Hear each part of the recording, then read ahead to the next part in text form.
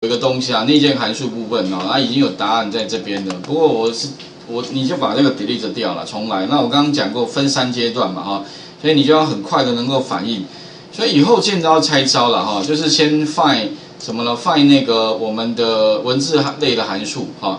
那第一个大概用 find 函数了哈，把那个 find find 什么呢？find 前光啊，特别是常常这个 v find test 跟 vsin 哈，常常搞混了。你大概只要能够记记得，就是它找什么关键字或者关键词，去哪个储存格，通常是储存格里面找，找到。但如果你打错了，下面回来的东西应该是错的，你就知道哦，原来这可能你那个。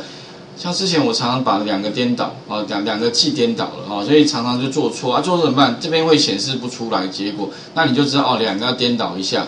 那第一步我们就先 find 前刮弧，第二步把它剪下来，剪下来之后呢，再插入到 mid 啊，最近使用过的哈，mid 里面啊，去这边帮我从哪个字开始？从前刮弧位置加一，下一个字开始，然后呢要几个字？哎，就是从那个后刮弧的位置。所以这边的话呢，就是后刮弧的位置减掉前刮弧的位置。那因为我是从前刮的位置算，所以还多一个字，应该是前刮后面那个字，所以减一。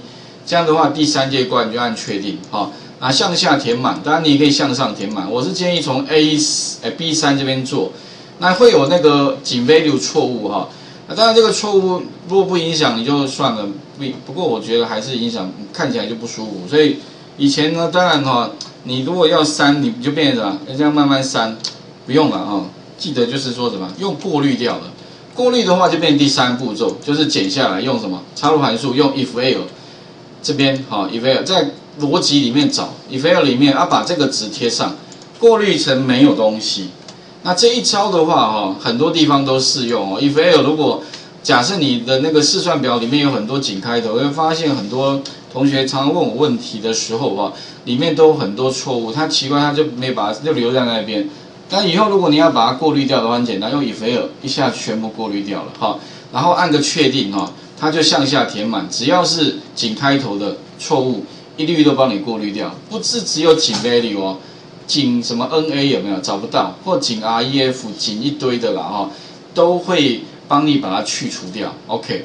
那这个部分是第一阶段，好，所以我是把它分三阶段哦，哈，所以这个我想你们往后呢，在使用函数的时候啊，慢慢就是要这样抽丝剥茧，第一阶段、第二阶段、第三阶段，慢慢慢慢的，哦啊，然后公式会越来越长。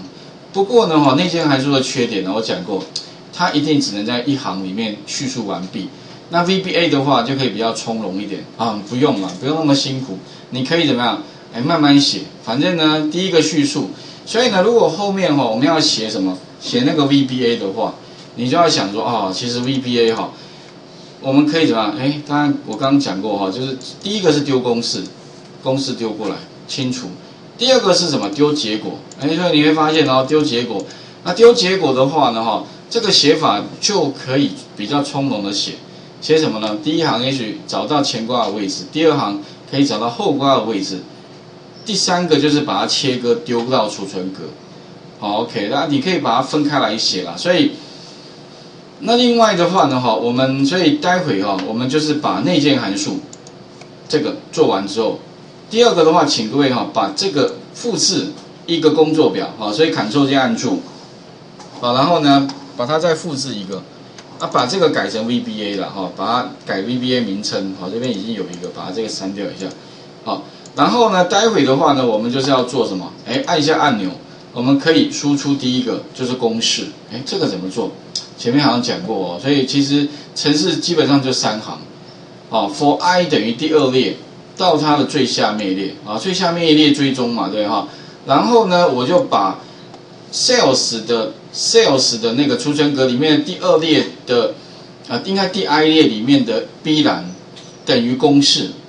它就可以输出了哈啊，这个其实跟那个上个礼拜做的方法几乎一模一样，只是换一个地方哦哈。所以请各位也许想想看，有没有办法可以把这个做出来。然后还讲过，就是说这个如果里面有双引号的话，记得要把它改两个哦，这个概念要有哈。第一个，所以我们待会要做产生啊三个按钮哈。第一个是输出公式清除，第二个的话呢，就是我不是直接输出公式。而是输出最后的结果。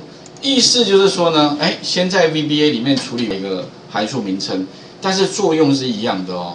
好，所以你要知道哪些函数可以做到那样的效果。然后切割 mid，其实 mid 刚好 VBA 也叫 mid，所以切割的方法一样。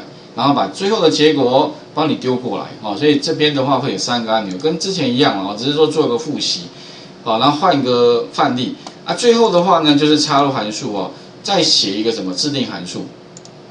最好什么刮胡自转函数，他会跟你要一个资料给他，对不对哈？按个确定，向下填满，这样也 OK。那这个是制定函数，好，所以呢，待会会有应该讲起来哈，就是到 VBA 里面的话，就会需要有呃几个动作，一、二、三，再加一个四，好，所以会有总共会需要把这些东西给变出来哦。OK 哈。嗯，最好先，如果可以的话啦，自己先动手做做看。啊，另外当然有录制剧集啦，不过我是觉得录制剧集应该不不需要每次都录制啦。如果，但是也要熟哈。OK，如果你有时间的话，你就再做一个录制剧集的动作哈。请各位先试一下这个部分。那待会的话呢，我们再一一的哈跟各位做说明。就是第一个哈啊，其实有点有部部分其实是复习的味道了哈。那。好，先试一下哈，待会再来看这个这四道四个问题跟 VBA 有关的哈。